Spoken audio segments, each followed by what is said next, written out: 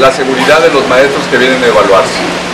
El número que viene a evaluarse son 3.014 maestros de una meta de 4.000. Sin embargo, estamos satisfechos porque de tres días para acá, cuatro días para acá, eh, se han intensificado las llamadas para poder finalmente sí subir sus evidencias los maestros y probablemente ese número, vaya a crecer lo cual quiere decir que nos acerca eh, muy bien a la meta nacional, que el magisterio de Guerrero quiere evaluarse. Entonces, vamos bien por ese, por ese lado, el apoyo de hecho ya llegó el primer grupo de, elementos de Policía Federal Preventiva, de Gendarmería y ayer en una reunión, en una reunión que tuve con los mandos aquí destacados en el estado de Guerrero, me comentaban que en principio ayer llegaron alrededor de 3.000 y que hoy llegarán otros 3.000 más.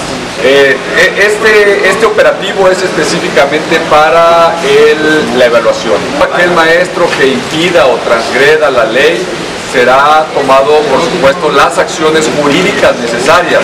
También quiero comentar eh, eh, con mucha claridad que la participación de la Policía Federal Preventiva, la Gendarmería y la Secretaría de Seguridad Pública estarán ceñidas a los protocolos que establece la seguridad, es decir, vamos a convocar a este, integrantes de derechos humanos, a ministerios públicos estatales, a ministerios públicos federales, para que puedan estar pendientes. Primero, que no haya violaciones a los derechos humanos, muy importante en estos operativos, pero segundo, con mucha firmeza, que todo aquel que transgreda la ley, por supuesto, tendrá que someterse a las consecuencias jurídicas que esto amerite. Aquí a los opositores de la evaluación que le permitan a aquellos maestros que ya tomaron la decisión para poder evaluarse, que, les, que se los permitan. No creo que sea justo el que eh, traten de impedírselo. Yo también les pido que abandonen sus centros de trabajo para ir a la marcha.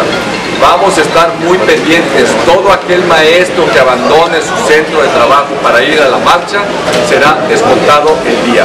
Entonces yo les pido por favor que nos evitemos problemas. Además tenemos la obligación de hacerlo. Si no hay una justificación por la cual abandonan su centro de trabajo, les pido por favor que no lo hagan porque será descontado.